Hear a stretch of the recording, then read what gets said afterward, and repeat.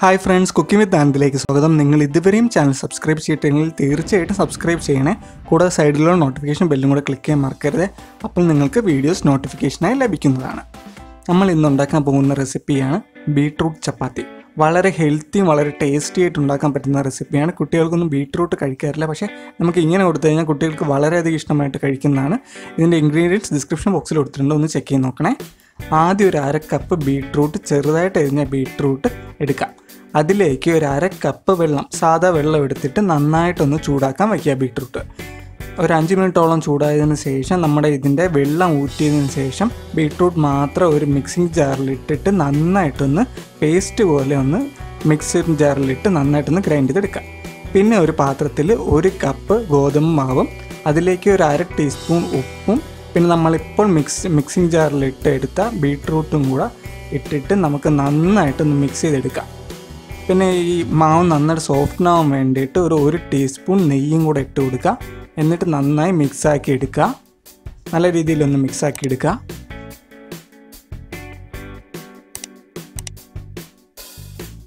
പിന്നെ മാവിന് വെള്ളമായിട്ട് നമ്മുടെ ഈ ബീട്രൂട്ടിന്റെ തന്നെ കുറച്ച് വെള്ളം നമ്മൾ മാറ്റി വെച്ചിട്ടില്ല ആ വെള്ളം തന്നെ ഉപയോഗിച്ച് നന്നായിട്ടൊന്ന് മിക്സ് ചെയ്തെടുക്കുക. അഥവാ വെള്ളം കൂടിപ്പോവുകയാണെങ്കിൽ കുറച്ച് ഗോതമ്പ് മാവും കൂടെ ഇട്ടിട്ട് നന്നായിട്ടൊന്ന് മിക്സ് ചെയ്തെടുക്കുക. ഈ കാണുന്ന പരുവത്തിലൊന്ന് മിക്സ് ആക്കി എടുത്താൽ മതിയാകും.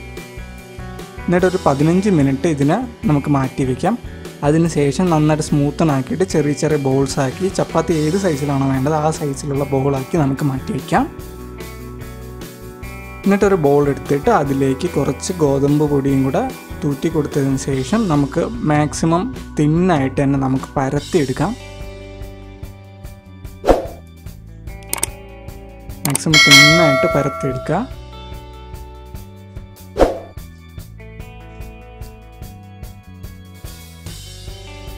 അതേസമയം ഒരു പാൻ ചൂടാക്കാൻ വച്ചതിന് ശേഷം നന്നായി ചൂടായതിനു ശേഷം നമുക്ക് ചപ്പാത്തി ഇട്ട് കൊടുക്കാം.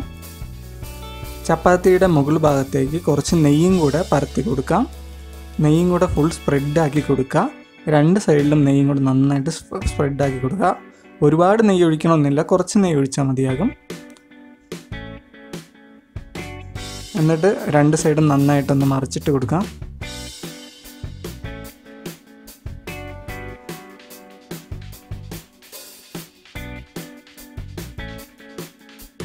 കുട്ടികൾ കൂടുതലും ബീട്രൂട്ട് ഒന്നും കഴിക്കാറില്ല.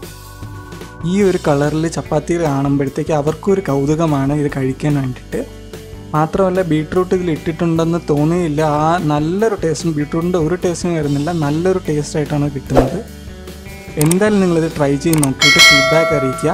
എന്തെങ്കിലും നിർദ്ദേശങ്ങളോ കമൻസോ ഉണ്ടെങ്കിൽ കമന്റ് ബോക്സ് ഇടാൻ മറക്കരുത്. അങ്ങനെ നമ്മുടെ ബീട്രൂട്ട് ചപ്പാത്തി തയ്യാറായി കഴിഞ്ഞിരിക്കുകയാണ്. നിങ്ങൾ എന്തായാലും ട്രൈ ചെയ്യാൻ നോക്കിയിട്ട് ഫീഡ്ബാക്ക് അറിയിക്കുക. Thank you for watching guys and please do subscribe to our channel thank